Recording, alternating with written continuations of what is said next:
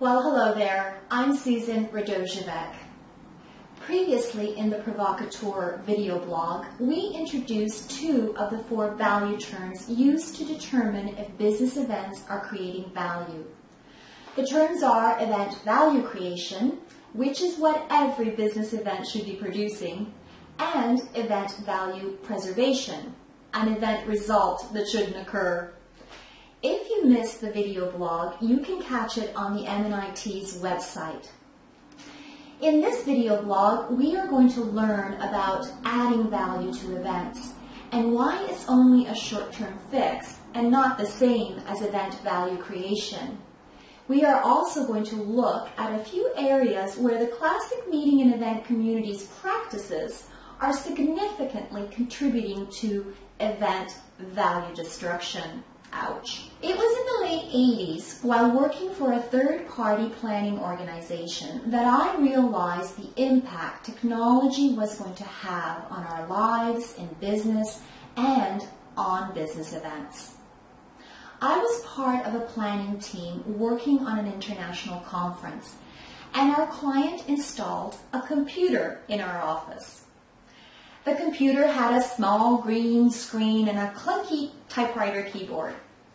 Our client informed us that instead of faxing and mailing conference registrations, the registration details would be sent using the computer. I was tasked with the management of 4,000 plus conference registrations and had to figure out how to use the computer. In the beginning, it was a daunting task. And after many sleepless nights, we discovered that the computer enabled us to create a process that added value to the conference and our client. Adding value is when an organization starts to listen to their clients and customers and takes their input seriously into account in their decision making. In the story I just shared, we listened and it saved us time and made us more effective. In the last decade, technology has come a long way. Tablets, mobile apps, and social media networks are a growing presence in business. The good news is the classic meeting and event community supports the use of social media tools for the purpose of engaging with participants before, during, and after the event, and for creating hybrid events. The bad news is hybrid events and social media engagement tools have been around for a few years. Therefore, they shouldn't be talked about as though they are groundbreaking. And the way the engagement tools are used is more aligned with adding value to the way event logistics are delivered. While this produces short-term results, it offers little long-term value to CEOs whose role is to measure results against investment to gauge if the results are creating value for all stakeholders.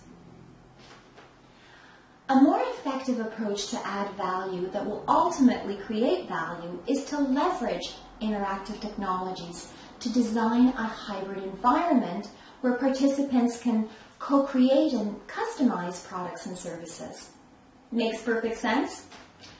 Except in the 2012 MPI Business Barometer, co-creating and customizing products and services with participants using technology was ranked dead last on Classic Planner's list of 16 technology priorities. And allowing more participation at live events was ranked number 14. Clearly, the classic meeting and event community is out of sync with the evolution taking place outside of their bubble. If I believed in conspiracy theories, I'd say there is one big conspiracy going on in the community why is there such a need to hold on to the status quo and such a reluctance to embrace innovation and experiment? Sadly, this narrow-mindedness that methods, tools, and technology without a direct line to travel and hospitality event logistics is some sort of a threat to business events is very much misguided. It's not business events or the methods, tools, and technology that are the threat. It's the existing community's business model that's the threat. And did I mention that the model is also broken? Sorry folks, I understand it's a tough pill to swallow. However, the writing is on the wall and it's been there a while. More emphasis needs to be placed on business event outputs. It's event outputs that help leaders bring about a lasting and positive change in behavior and attitude in people. If the community would switch it up and change the conversation to event outputs, they would register on corporate leaders' radar, and leaders would find it difficult to justify canceling events. Another example of where the community is maintaining status quo is using strategic meeting management as a standalone solution. This approach only reinforces CEO's perception that business events are a cost center and an outgrowth of travel and hospitality. And the notion that implementing a strategic meeting management program will produce a return on investment is nothing more than smoke and mirrors, folks. A return on investment is measured on new revenue generated, not on budgets that are reduced by leveraging vendor spend through the consolidation of vendors.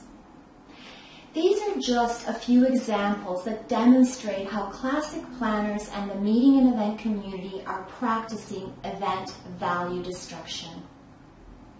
Einstein said, that insanity is doing the same thing over and over again and expecting different results. Event value destruction is doing the same thing over and over without questioning anything. Aligned and value creation business events can play a key role in today's businesses. Only if a new commitment to a new course of action is made a commitment that places corporate leaders' goals at the center of all business events, and where event outputs lead and drive event value creation. And finally, let me ask you, what's the risk of separating business event outputs from travel and hospitality event logistics? For the Provocateur, I'm Susan Radojevic. See you next time.